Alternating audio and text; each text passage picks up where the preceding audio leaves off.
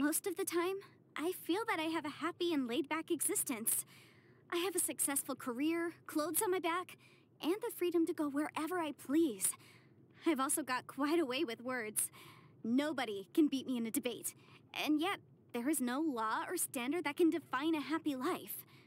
For me, interesting people and engaging affairs, knowing where to go and which path to choose, these are all enough to bring me happiness.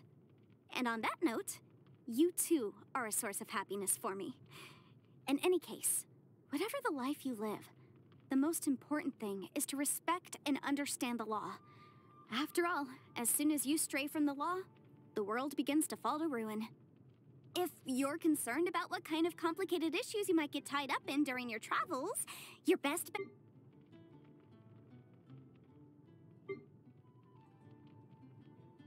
If you're concerned about what kind of complicated issues you might get tied up in during your travels, your best bet is to bring someone with you who knows and understands the law.